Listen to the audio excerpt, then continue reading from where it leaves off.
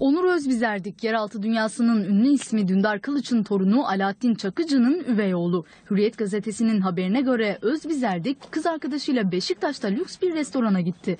Ve restorandaki bir grupla arasında oturacak yer yüzünden kavga çıktı. İddiaya göre Özbizerdik tartışma sonunda tabancasını çıkardı, gruba doğru ateş etti. Mermi kimseyi sabit etmedi. Tartıştığı gruptan bir kişi Özbizerdik'in silahını elinden aldı.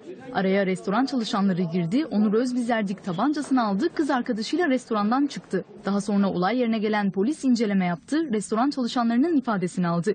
Kendilerine ateş ettiğini söyleyen müşteriler Özbizerdik'ten şikayetçi olmadı. Onur Özbizerdik daha önce Fatih Edremit cinayetinden tutuklanıp 4 Kasım'da beraat etmiş, tahliyesinden saatler sonra ise barda güvenlikçiyi ayağından vurarak kaçmıştı. Bir ay sonra teslim olan Özbizerdik serbest kalmıştı. Tarabya'da da bir otelde bir genci topuğundan vurmuş ve bir ay sonra savcılığa giden Özbizerdik yine serbest kalmıştı.